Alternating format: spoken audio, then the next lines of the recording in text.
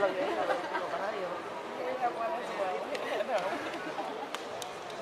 old. She won very many big competitions, and now she's old